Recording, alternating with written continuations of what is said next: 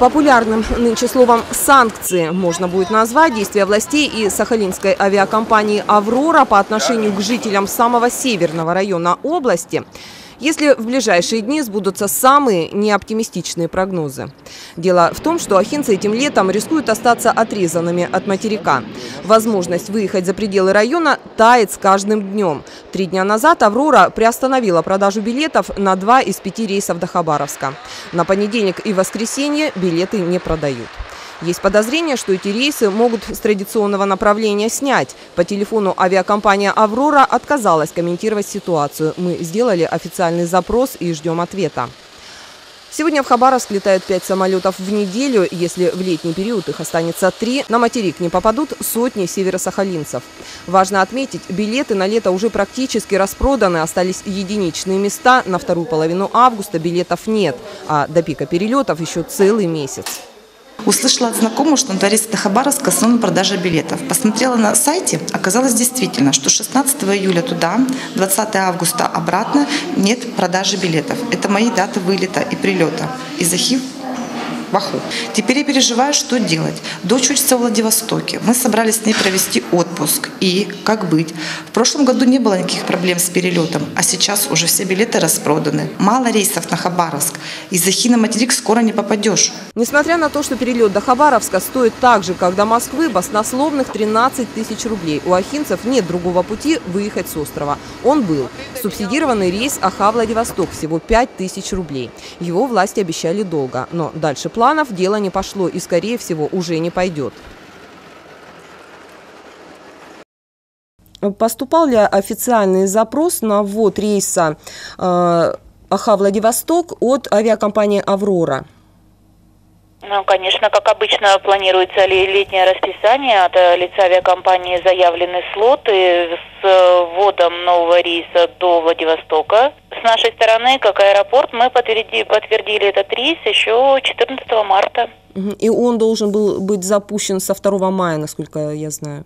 Да, со 2 мая по 3 угу. и 6, по 3 и 7 дням недели. Ну, была ли какая-то отмена по этому рейсу? Официально, да, тоже была отмена по рейсу. Авиакомпания отменила этот рейс. Итак, почему нам нужен Хабаровск? Там учится половина наших выпускников, там живут наши родные, туда мы отправляем на лето своих детей. Напомню, в прошлом году в Хабаровск летали 9 рейсов в неделю. При худших прогнозах останется 3. В чем же дело? Очень просто. Так власти решают проблему остановки Сахалинской железной дороги. И, внимание, обеспечивают направление Ноглик и Южно-Сахалинск 14 рейсами в неделю. Нетрудно сравнить количество жителей Ахи и Ноглик. Вопрос напрашивается сам собой. Кто будет летать на этих 14 самолетах в неделю из Ноглик? Жители, конечно, воспользуются субсидированными рейсами, но по большей части самолеты, вероятно, предназначены для работников иностранной компании, так называемых вахтовиков, работающих на проектах. То есть иностранная компания оказалась в приоритете. Интересы жителей Ахи не настолько важны. Хотелось бы верить в то, что эта беспрецедентная несправедливость по отношению к ахинцам нам лишь померещилась, но понять по-другому ситуацию не получается. Депутаты городского округа вчера написали обращение в правительство области по этому поводу. Оставят ли власти жителей Ахинского района в прямом смысле за бортом, будет известно в ближайшие дни. Вячеслав Власенко, представитель Минтранса Сахалинской области, который курирует воздушные перевозки, сообщил, что проблемой сейчас занимаются в правительстве региона и пообещал, что ахинцев ни в коем случае не оставят без достаточного количества рейсов. Ведь отстаивать интересы местного населения и максимально обеспечить комфорт для проживания в островном регионе – это главная задача власти, сказал чиновник по телефону. И да, «Аврора» оставила Ахе возможность летать на пяти самолетах в неделю в Южно-Сахалинск. В прошлом году рейсов было семь. Пока мы готовили к эфиру этот материал, на информационном портале Сахком появилась новость о том, что трехмесячное закрытие движения в рамках модернизации железнодорожного пути на Сахалине решено перенести на лето 2019 года.